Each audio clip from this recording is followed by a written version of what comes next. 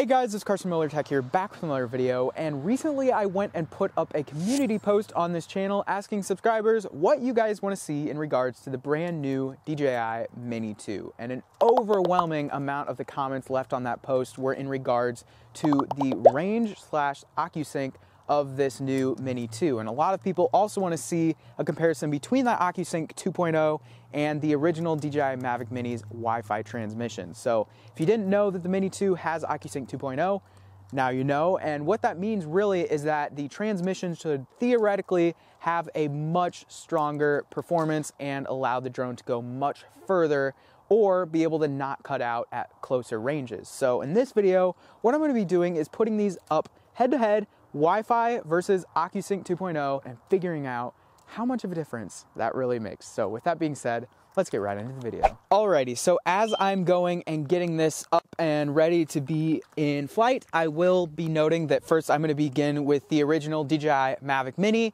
and I also want to address that if you're coming here to watch this video and see a full on foot for foot comparison range test between the Mavic Mini and the DJI Mini 2, I'm not gonna be doing that, but hold on the reason is because a lot of people don't actually know this, especially after watching YouTube videos about range tests.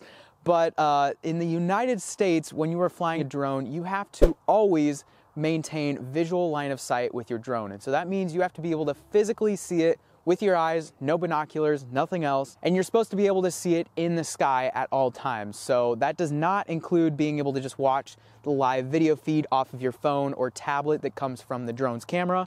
That's not visual line of sight. So in this video, I'm not gonna be going for distance necessarily. And the reason why is because I'm gonna be flying this in a high interference area and I know that the drones cut out at a certain point pretty much all the time, but Wi-Fi controlled drones tend to cut off a little bit sooner. So I'm gonna be figuring out how much further the original DJI Mavic Mini or the Mini 2 can go before the signal starts cutting out or dropping out, or the controller loss is just completely there immediately. So with that being said, let's get this up in the air. Alrighty. So I'm gonna be taking this up to a height of around 100 feet and then just pretty much flying straight out until I begin to experience some cutout. So as of right now, I'm not really experiencing much. I'm not sure exactly why I experience a lot of interference over in this area. It's probably because it's just this big industrial park and there's a lot of metal and stuff around, but I'm not exactly 100% sure why. As of this point, you do see that the feed is pretty laggy. Oh, weak signal. I'm out at about 1,200 feet. I'm moving forward a little bit more to see if I can get a little bit more distance before it fully cuts out, but already. I'm at 1300 feet now, 1500, and I'm starting to see the RC is giving me full on red bars and it is blinking at me and letting me know that it cannot really uh, connect to the controller. I do want to make note that I am pointing the controller with its antenna pointing directly at the drone right now, so I'll be doing exactly the same with the Mini 2. But uh, yeah, so I'll go just a little bit further. See if I can go any further. Mm, I don't want to risk it too much. So at this point, I'm going to go and bring it home at the orange two bar to red one bar. I'm going to make note of that. Let's come on, bring it back home. See if spinning it makes any difference. Sometimes it can make a difference when you go and spin the drone around depending on where the antenna are in the drone. In the Mavic Mini's case, there are antenna in the front two, I believe. So it can make a little bit of a difference. Not a huge difference, but still. Oh, and right as I was turning around, I fully lost signal. All right, and as I'm nearing home, I do want to mention that yes, OcuSync does go and make an impact on the range that a drone can fly, but it also impacts the quality of the live feed that you get on your phone between your drone and your phone. Didn't mean for that to rhyme, but it really does make a difference. And the reason for that is because as the signal is stronger, it's able to go and transmit a stronger picture that you can go and see on your phone, which is overall a good thing to have. And I personally support and I love about that. So that is one thing to mention and note is that when you're looking at this Mavic Mini feed, you will notice that the original Mavic Mini does tend to go and just be a little choppy at times and it's not as favorable compared to something where it is a solid feed with the OcuSync 2.0. So you'll see that in just a little bit with the Mini 2. So with that in mind, let's bring it on down and get the Mini 2 up into the air. Alrighty, so everything is on and good. Let's go and get this up into the air.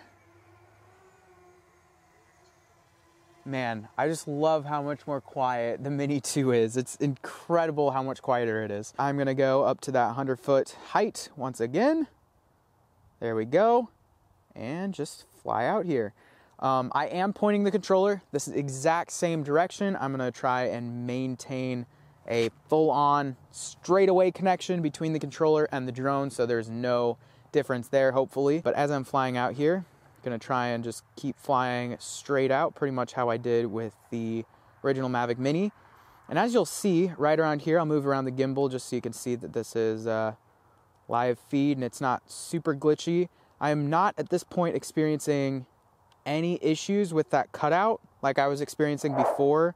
Remember at around 1200 feet, I was starting to experience some dropout, but uh, not here honestly, I could, wow, okay. so I'm now getting around to 1600 feet.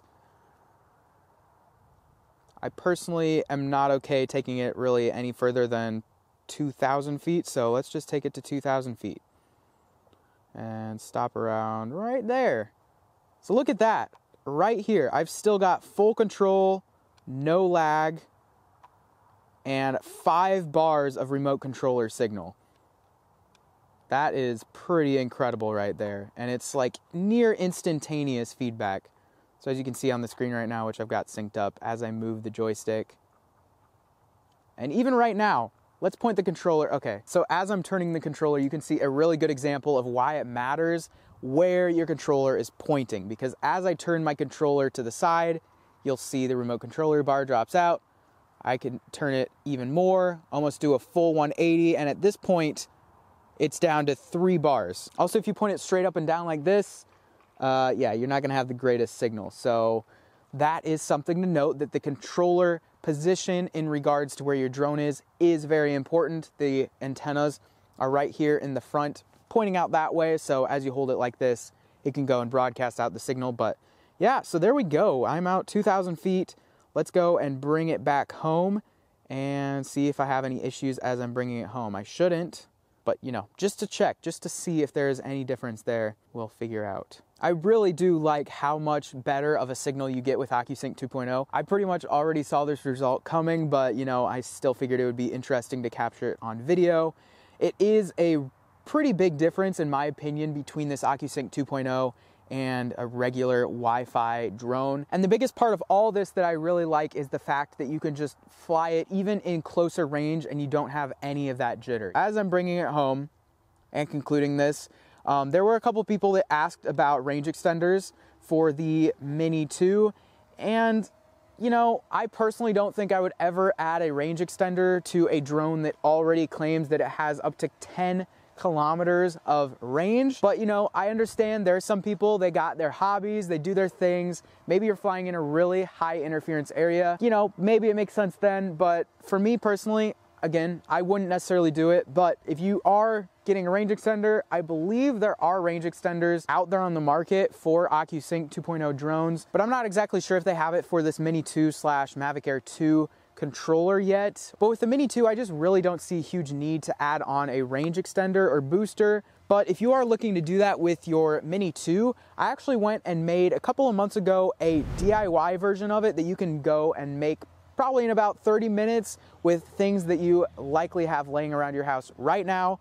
And it goes right onto this controller and goes onto the antenna, which is pretty awesome. And it's entirely free as long as you've got all the materials and it's very easy to make as well. So if you're interested in going and having range extender that will go and prevent these Mavic Mini hiccups at closer ranges and even at further distances, then make sure to go check out that video right up there. But there you have it. That is the DJI Mini 2 versus the original DJI Mavic Mini. And overall, I gotta say, I'm very impressed with the extended range of the new Mini 2. I personally haven't experienced any cutouts with that range yet. But with that being said, that is pretty much it for this video. Make sure to go and leave some comments down below of other things that you want to see in regards to the Mini 2 because I'm all up for making more videos or about the original Mavic Mini because I've still got this guy and I want to fly this guy around as well. So make sure to let me know down in the comments what you want to see. But with that being said, if you enjoyed this video, make sure to let me know by clicking the thumbs up button down below, as well as subscribing for future videos like this. And also, if you want to check out my last video, that is right up there, and my Mini 2 review video will be down there. So with that being said, that is it for this video. Hope to see you in the next one. Peace.